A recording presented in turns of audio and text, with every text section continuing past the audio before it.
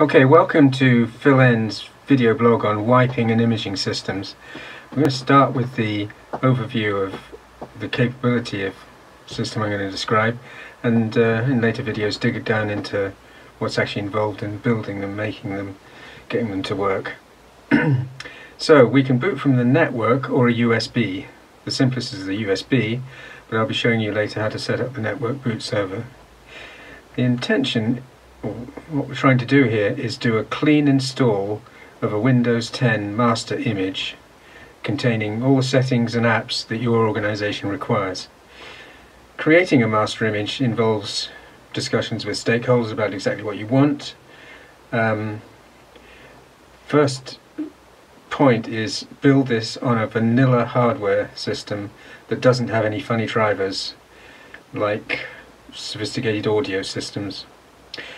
We use Dell Precision 3260 desktops. If your organization just has a couple of system types, perfect, just use them. Um, we on the other hand have a large variety of systems and uh, so we can't do that. So I'm just going to show you a, this is a master system, or gold system, and it's got applications that uh, um, have been pre-installed. It's um, quite big, so a quick look at this, 66 gigabytes. Um, that's because some of the applications are overly large, let's see. Um, when it's captured, which is what we're going to do next, it um, is compressed and does go down to about sort of 30 35 or something. Um, we have several master um, images, as, as I imagine every organization would. Um, we've got Windows Pro and Windows Core, um, all got the same applications, and then we have one that doesn't have any applications at all, just a plain um, Windows 10. Now, um, the idea is that all the applications are ready, the system has been cleaned up, so you can see, for instance, uh, we've decided to remove all the tiles. There's quite a lot of apps that have been taken away. There is, if you look down here in the bottom right corner, you'll see there's no news or weather apps or anything like that. Really don't need them, in, in my opinion. Just, uh, just as easy to use your phone for that sort of information. Um, the there's Chrome installed. Um, we've uh, cleared the history in that. Sort of home page goes to our home page. Um, but the uh, the key thing is uh, is Windows Update. So basically we've installed all the updates so that the image is completely up to date and every time updates come out on patch Tuesday we um, snag another image that means that when you're installing it, the um, install goes really quickly and doesn't have to um, run Windows Update and do any, um, you know, these, well, like this one, cumulative update is obviously going to come down the pipe shortly. Um, when it does, we'll, um, and it, it stops being an optional quality update, we'll install it so that um, you don't have to when you're actually building the systems.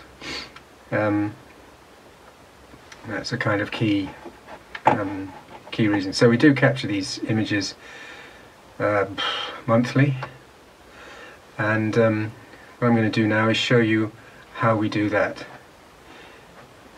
Okay, so I'm now going to pause the video while we reboot this system. This is this is the uh, system with the master um, install on it. I'm going to reboot this system into Windows pre-execution environment. Hold tight. To capture the image we're going to boot off the network because uh, we're going to have to save the image to the file server um, when we capture it. So this is, I'm going to go to imaging and boot it. Now notice it's um, using HTTP for the boot.wim, that's because it's considerably faster than the default TFTP. Um, and now it's going to start Windows Pixie uh, running a StartNet script which first of all initializes the network that's loading all the drivers.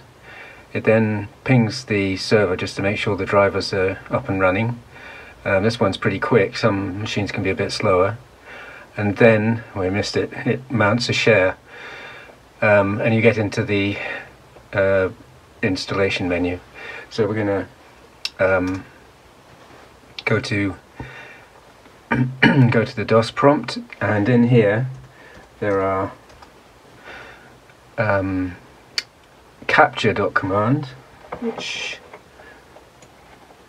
which will capture the image um, the first image and then there's an append which will append the second image now these images are compressed so the second image also um, uh, doesn't store duplicate files. Um, as we were saying, the image is about 65 gigs. Um, when it's captured, it's down to about 35, and the second append um, will we'll add a little bit, bring it up to about 45. So um, just show you how capture works.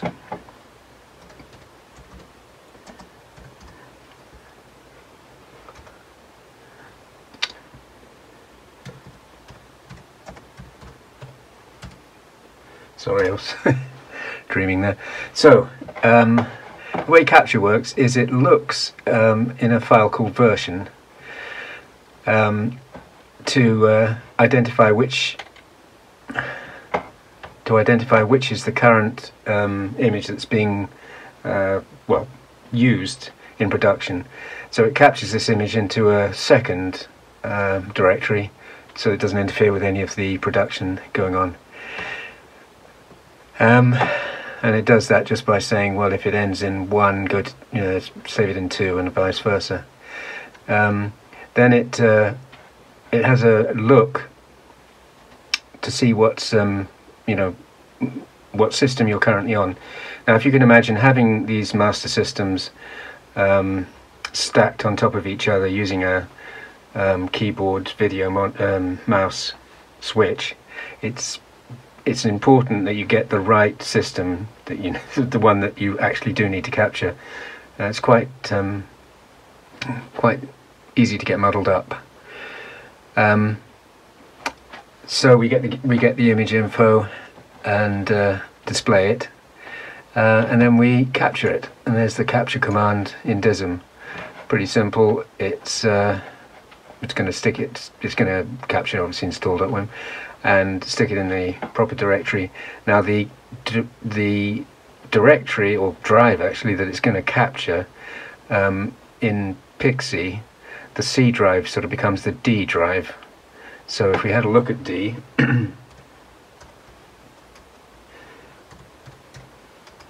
it sort of looks like you'd expect with sort of Windows program files, users, things like that.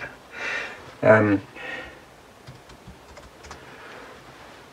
So um, only remains to set the thing off and uh, wait for the image to be captured. So capture.